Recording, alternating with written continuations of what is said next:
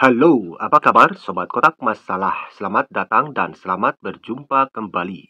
Kali ini saya akan membahas bagaimana cara melawan serangan friendly protect kuda naik 35. Tentu di sini ancaman pukulan kepada pion lemah F7 oleh gajah ataupun kuda. Di sini saya akan mengupas tuntas bagaimana cara merobohkan atau menghancurkan formasi dari serangan friendly protect. Seperti apa jebakan-jebakan, trik, serangan, teori, dan strateginya? Mari kita lumpuhkan bersama-sama.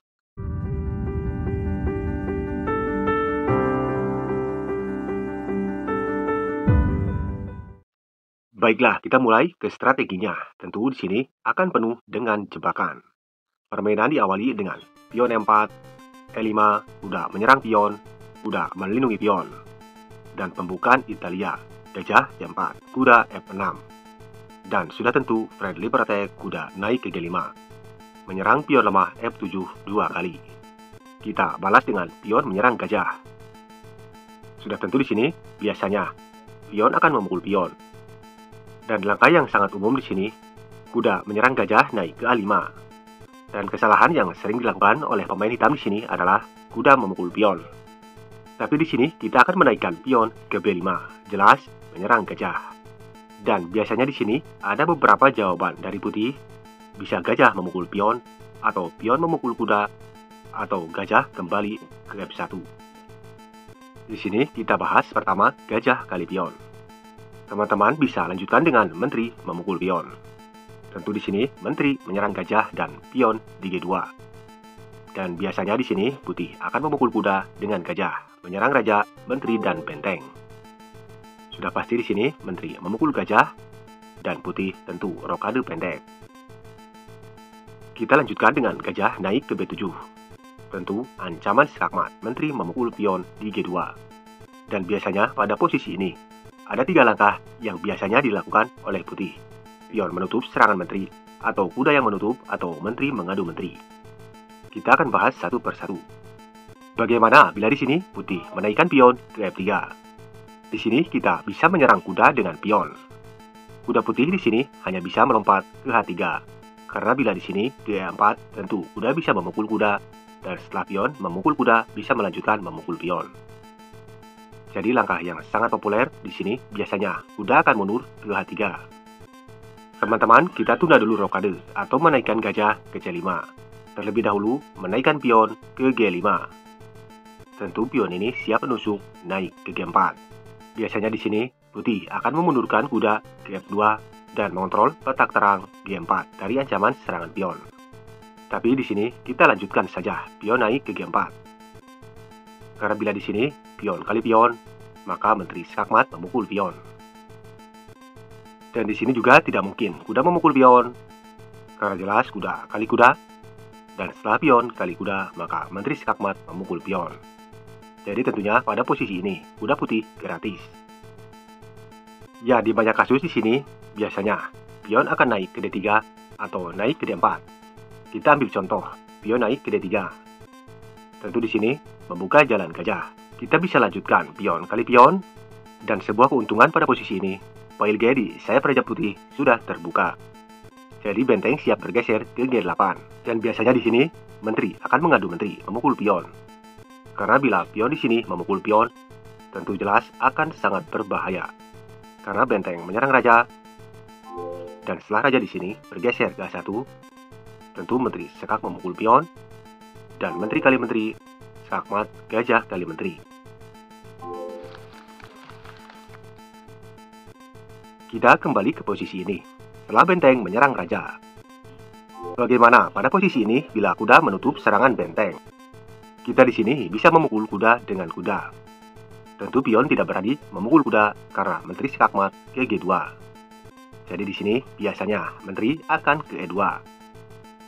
Maka lanjut gajah menyerang raja. Bila benteng menutup, maka akan gratis. Gajah akan memukul benteng. Jadi di sini raja akan ke A1. Dan jelas di sini seperti tadi. Menteri menyerang raja, dan pastinya benteng memukul menteri. Di sini kita bisa menyerang raja dengan kuda. Sekap.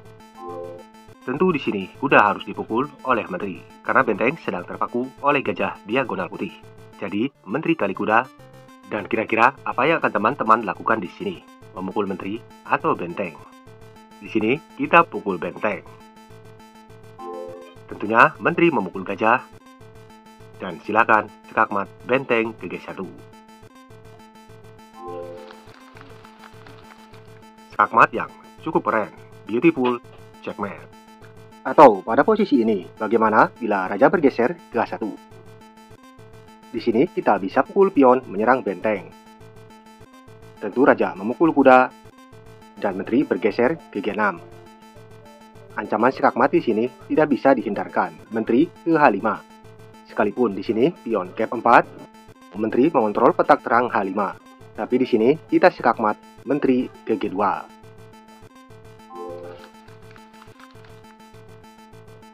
Oke, teman-teman, kita kembali ke posisi ini. Setelah di sini, pion kali pion. Bagaimana bila di sini menteri mengadu menteri? Tentu di sini kita memukul menteri dengan menteri. Dan setelah pion kali menteri, kita bisa menyerang raja dengan benteng. Di sini, bila kuda menutup serangan benteng, maka kita bisa memajukan pion naik ke H5. Jadi jelas, kuda di sini akan hilang. Dan juga di sini jelas kesalahan yang sangat fatal bila raja di sini ke H1. Tentu skakmat gajah memukul pion. Oke, teman-teman, kita mundur ke posisi ini. Pada posisi ini, tadi sudah kita coba pion naik ke F3. Bagaimana di sini? Kuda mundur ke F3, tentu melindungi ancaman skakmat dari menteri. Kuda F3, di sini langkah bagus, pion naik ke 4, menyerang kuda. Tapi untuk sementara bisa memblok serangan menteri kepada sayap raja. Kita di sini bisa lakukan terlebih dahulu rokade panjang. Dan di sini kita nanti bisa lanjutkan pion naik ke 4 atau juga pion naik ke G5. Tentu di sini sangat strategis dan benteng kita sudah menguasai D yang semi terbuka ancaman kepada Menteri Putih. Jadi biasanya di sini putih akan menaikkan pion ke D3. Tentu di sini mencoba mengontrol petak terang E4 dari ancaman pion hitam E5 juga gajah putih diagonal hitam siap beraksi. Kita di sini bisa lanjutkan pion ke G5. Kuda di sini jelas tidak akan berani memukul pion, karena menteri skakmat memukul pion. Jadi biasanya gajah di sini akan memukul pion. Jelas, menyerang kuda. Kita akan menggeserkan benteng ke G8. Tentu bila gajah tidak pergi, akan dipukul oleh benteng. Dan kuda tidak dapat memukul benteng karena menteri skakmat memukul pion. Jika putih di sini memukul kuda, Tentu menteri bisa kembali memukul gajah. Tentu kuda dalam ancaman gajah hitam diagonal putih. Dan langkah yang logis untuk putih di sini kuda melindungi kuda.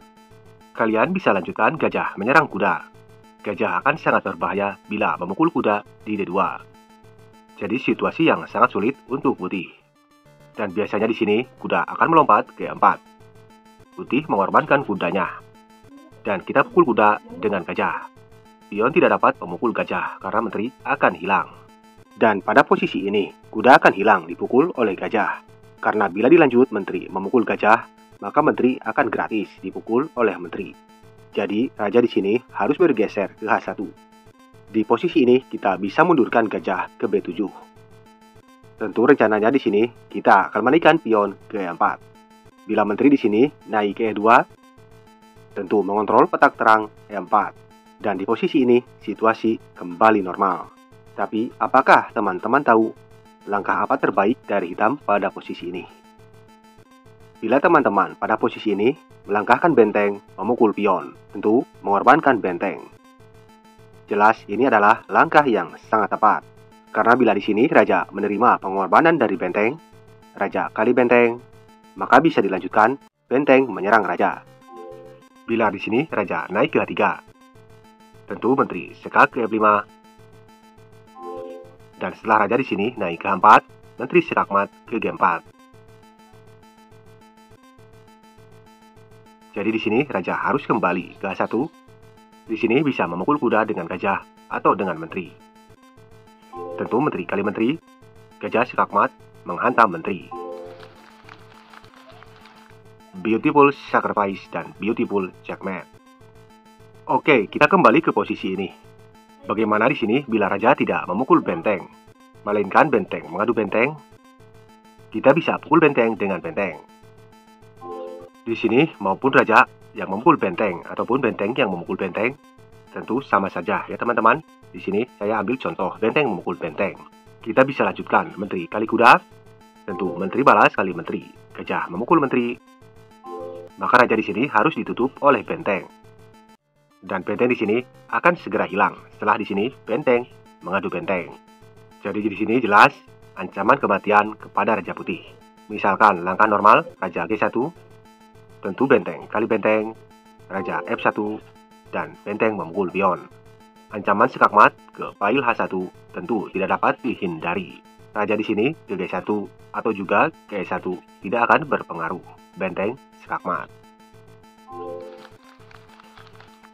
Bagaimana teman-teman? Sangat mudah untuk menghancurkan Fred Liver Attack. Oke, teman-teman, kita kembali ke posisi ini. Setelah kuda di sini, melindungi kuda, dan kita lanjut menyerang kuda dengan gajah. Bagaimana pada posisi ini? Bila putih melakukan langkah yang terbaik, pion naik ke G3. Di sini kita bisa melanjutkan pion naik menyerang kuda. Dan seperti tadi di sini, tentu kuda tidak mungkin memukul pion karena gratis akan dipukul oleh gajah. Dan pion sedang terpaku oleh benteng, jadi tidak akan memukul gajah. Jadi di sini kemungkinan pion akan memukul pion. Di sini kita bisa pukul kuda dengan gajah. Tentu kuda kembali memukul gajah. Kita bisa serang kuda dengan menteri. Tentu kuda di sini akan hilang. Jadi langkah yang normal di sini, menteri mengadu menteri.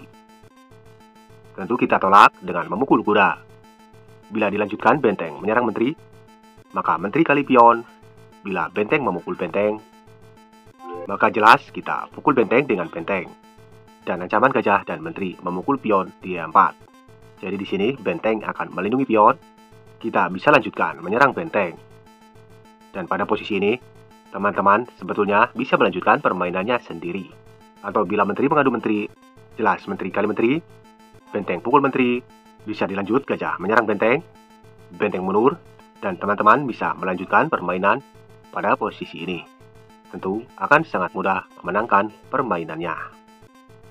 Baik, Sobat Kotak Masalah, kita kembali ke posisi ini.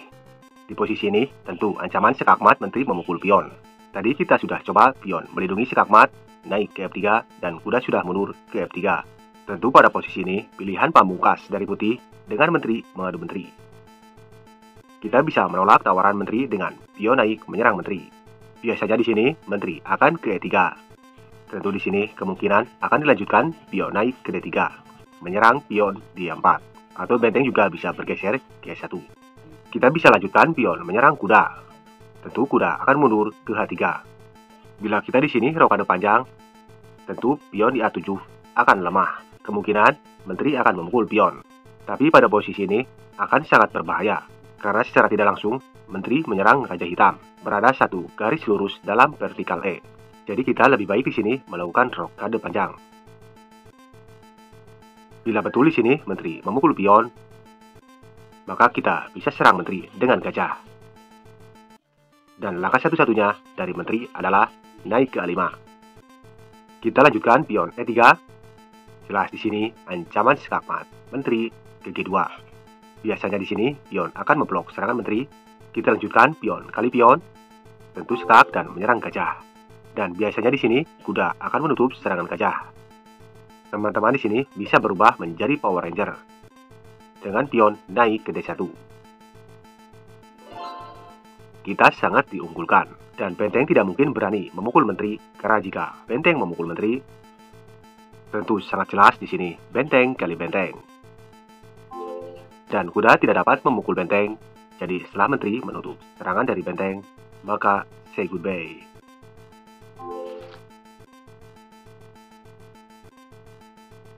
Oke teman-teman, kita mundur ke posisi awal. Pada posisi ini, tadi gajah memukul pion. Bagaimana bila pion memukul kuda? Tentu masih ancaman kepada pion lemah F7. Jelas di sini kita pukul gajah. Dan biasanya putih melakukan rokade pendek. Kita lanjutkan menyerang kuda. Tentu kuda di sini akan kembali menyerang pion, maka kita lanjut menyerang kuda. Dan biasanya benteng bergeser ke 1 tentu mencegah pion memukul kuda. Di sini kita bisa tutup dengan gajah naik ke 6 dan kuda di sini dalam ancaman pion. Biasanya akan melindungi pion. Kita bisa serang kuda dengan gajah. Dan di sini kuda tidak dapat bergerak, kecuali memang kuda ini sembrani. Tentu akan naik ke D7. Yes, mengadu kuda. Kuda di sini terlihat sangat gagah, diriung oleh beberapa musuh, tapi tetap berani. Ya mungkin punya ilmu kebal atau sejenisnya, saya kurang paham. Pada posisi ini, kita bisa korbankan gajah memukul pion. Bila di sini, raja memukul gajah, lanjut kuda menyerang raja. Langkah normal tentu raja kembali ke G1 dan menteri naik ke H4. Di sini ancaman yang cukup serius, menteri seka ke H2 atau menteri memukul pion. Di sini tentu langkah apa pun tidak akan membantu. Misalkan langkah normal, benteng mengkul pion. Di sini benteng sangat aktif. Secara tidak langsung menyerang raja dan menyerang menteri daripada hitam. Kita bisa serang raja dengan memukul pion. Tentu raja ke 1 menteri sekak, raja kembali, menteri sekak. Tentu raja di sini ke F1, menteri sekak, dan raja harus naik ke 2. Menteri pukul pion, dan raja di sini hanya bisa ke S1. Silakan teman-teman, skakmat Menteri F2. Bagaimana teman-teman? Apakah terlihat rumit atau justru sangat mudah? Baik, teman-teman, kita kembali ke posisi ini. Dan pada posisi ini, langkah yang sangat populer juga di sini, gajah mundur ke F1. Bisa dibilang ini langkah terbaik dari putih. Di sini, bila kita memukul pion dengan menteri, saya kira langkah ini kurang begitu baik, karena jelas sudah akan menyerang menteri dan pion. Tentunya pion B5 akan diraih oleh putih. Kita di sini bisa lakukan langkah yang sangat menantang, pion naik ke H6. Jelas menyerang kuda. Tentu bila di sini pion memukul kuda, maka kita lanjut memukul kuda. Dan biasanya di sini putih tidak mau rugi dengan terlebih dahulu memukul pion menyerang menteri dan benteng dan ide liciknya tentu putih memaksa raja untuk memukul kuda. Jelas raja tidak dapat rokade, pion kali kuda. Pada posisi ini, putih sudah unggul dua pion. Kita di sini bisa lanjutkan gajah ke C5. Jelas di sini, pion gratis. Biasanya gajah memukul pion, dan kemudian akan rokade pendek. Kita bisa lanjutkan serang menteri dengan gajah. Bila pion di sini menutup serangan dari gajah, tentu akan kesulitan untuk Raja Rokade pendek. Biasanya di sini gajah akan mengadu gajah. Kita di sini bisa kagetkan Raja Putih dengan gajah memukul pion. Boom. Saya jamin di sini raja daripada putih akan terkena serangan jantung. Setelah raja di sini memukul gajah, kita lanjutkan kuda menyerang raja. Bila raja di sini naik ke E3, tentu menteri sekakmat ke D4. Dan sama juga di sini, bila raja mundur ke G1, tentu menteri sekak ke D4. Dan setelah raja kembali ke F1, skakmat menteri ke F2. Atau bila raja di sini mundur ke F1, tentu menteri sekak ke F6. Di sini saya akan ambil satu contoh. Raja mundur ke E1. Kita lanjut menteri sekak. Raja tidak mungkin bergeser karena menteri sekakmat ke F2. Jadi pion menutup serangan menteri. Lanjut kuda memukul pion dan jelas di sini ancaman kematian untuk menteri. Gajah memukul gajah. Dan bila benteng di sini menyerang raja ke F1, tentu kuda kembali memukul benteng. Dan sama saja, atau bila di sini pion memukul kuda, kita bisa memukul benteng dengan menteri, atau juga bisa menteri memukul pion. Tentu raja terpaksa harus ke E1. Kita bisa lanjutkan benteng ke F8, ancaman yang sangat serius kepada Raja Putih. Bila di sini gajah menyerang raja, Tentu raja bergeser, dan di sini raja tidak dapat ke mana-mana, kecuali menteri menutup ancaman yang sangat serius, menteri putih akan hilang. Jadi pada posisi ini, ke mana pun putih melangkah, tidak bisa menolong. Misal di sini gajah memukul gajah, tentu raja mundur. Bila raja di sini naik ke 2 tentu di sini gajah gratis, bisa dipukul oleh menteri. Atau bisa juga di sini benteng menyerang raja dan raja harus mundur ke E1. Benteng membuka, dan raja di sini harus bergerak ke F1. skakmat menteri ke F2.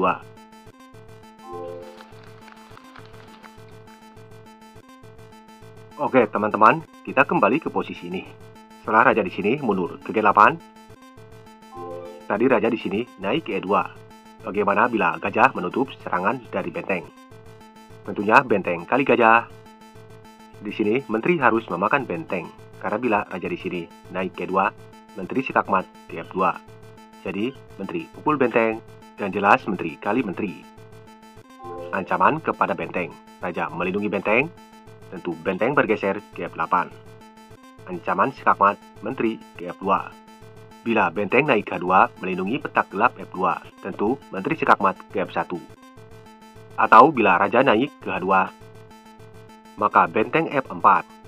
Dan di sini tentu putih hanya bisa pasrah. Misal di sini langkah pion naik mengadu pion. Ya di sini gajah ngadodoho benteng.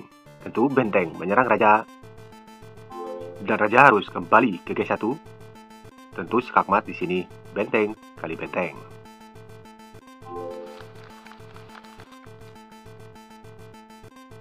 Jadi itulah video saya kali ini dalam rangka pesta menghancurkan Red Leaper Attack.